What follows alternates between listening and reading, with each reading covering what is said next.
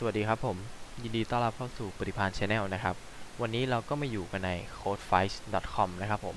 อ่าเดี๋ยววันนี้เราจะมาแก้โจทย์นะครับผม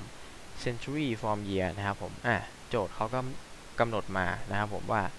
given a year return a century is in it is is in นะครับ the first century spans from the year 1 up to and including the year 100 the second from the year 100 and 1 up to and including the year 200 นะครับผม อะ คือเขาจะกำหนดปีนะครับผม ให้กำหนดปีมาให้นะครับ จากนั้นให้เรา return นะครับ ค่า century นะครับ ก็คือศตวรรษหรือร้อยปีนะครับผม อะ first century first century เนี่ย ก็จะเริ่มจาก 1 นะครับผม แล้วก็ขึ้นไปเป็น 100 นะครับ 101 ถึง 200 ไปเรื่อยๆ นะครับผม อะ ทีนี้นะครับเรามาดูตัวอย่างนะครับผมอ่าอย่างเช่นปีนี้เนี่ยก็คือเป็นปี 1905 นะครับผมเอาพุทนะครับเอาพุทที่จะแสดงออกมาจะต้องเป็นจำนวนเต็มนะครับผมอ่าโดยจะไม่มีเป็นทศนิยมนะครับอ่าซึ่งถ้าเราเอาไปหาร 100 นะครับผมมันจะได้เป็น 19.05 ใช่ไหมครับอ่าแต่เอาพุทเนี่ยเราต้องเป็นจำนวน จำนวนเต็มอย่างนี้ก็คือเหมือนถูกปัดปัดเศษขึ้นไปนะครับ ผมปัดทศนิยมนะครับ ปัดทศนิยมอ่านะครับ อย่างเช่นปีนี้นะครับ1,700 จะเห็นว่าจะไม่มีอาจจะไม่เป็นทศนิยมนะครับ เพราะว่ามันหารลงตัวพอดีนะครับผมอ่าเดี๋ยวเราลองมาดูกันนะครับ ผมจะสั่งให้มัน return year นะครับผม ตัวนี้นะครับ ให้มันหารด้วย 100 นะครับ แล้วเราลอง run test ดูนะครับผม เราจะเห็นว่านะครับเทสหนึ่งเนี่ยจะรันไม่ผ่านนะครับผมเพราะว่า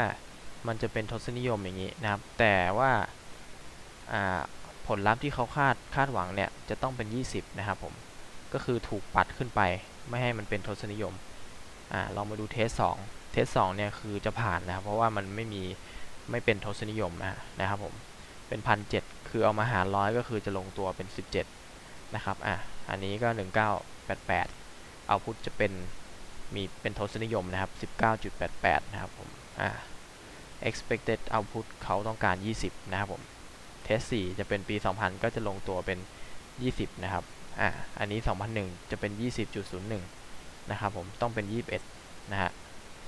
แล้วก็ test 6 อันนี้ 200 ก็จะเป็น 2 นะครับ ลงตัวพอดี อะส่วนอันอื่นๆ ก็จะไม่ผ่านหมดเลยนะครับ จะเป็นทศนิยมหมดเลยนะครับผม อะเราจะทำยังไงนะครับผม ซึ่ง ภาษา JavaScript เนี่ย มันจะมีฟังก์ชันหนึ่งนะครับ ชื่อว่า math seal นะครับผมอะเดี๋ยวผมให้ดู JavaScript นะครับผมเดี๋ยวผมจะเข้ามาที่ MDN นะครับ Mozilla นะครับ Developer นะครับผม เว็บไซต์นี้ โอเคครับ แล้วผมก็จะเข้ามาที่ build นะครับ build in objects นะครับ แล้วก็เลื่อนลงมาดูที่อยู่ในหน้า math math math อ่า ตัวนี้นะครับ math นะครับ ก็คือคณิตศาสตร์นั่นเองนะครับผม อะ ทีนี้เรามาดู มันจะมีฟังก์ชันหนึ่งนะครับ ชื่อว่า math field อ่า อยู่ในหน้าจะขอ Ctrl F หานะครับ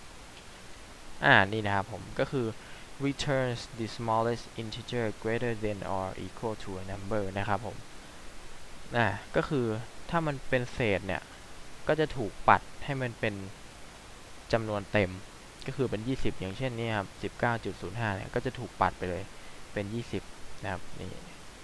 อ่าอย่างที่เขาบอกนะครับ return the smallest integer greater than or equal to a number นะครับผม อะเดี๋ยวเราลองมาดูวิธีใส่นะครับ เราก็จะ เขียนฟังก์ชันนี้เลย math dot ceil นะครับ จากนั้นก็ใส่วงเล็บครอบตัวนี้เข้าไปนะครับ ทีนี้อะเรามาลอง run test กันดูนะครับผมจึ๊บอ่าเราจะเห็นว่ามันจะเข้าสูตรนะครับผมก็คือจะไม่มีการ error นะครับจะรันผ่านหมดทุกตัวนะครับผมอ่าตัวนี้จะเป็น test ตั้งแต่ test 10 ลงไปเนี่ยจะถูกล็อกนะเราก็มากด submit เพื่อดูผลลัพธ์นะครับ ก็จะผ่านหมดเลยอ่า correct นะครับผมโอเคนะฮะ submit นะครับผมโอเค submit ไปแล้วเนาะโอเคครับก็สำหรับ part นี้นะครับ การแก้โจทย์ century from year ก็ขอจบไว้เพียงเท่านี้นะครับผมรอติดตามชมคลิปหน้านะครับผมสำหรับวันนี้ขอบคุณทุกท่านที่เข้ามารับชมครับผม สวัสดีครับ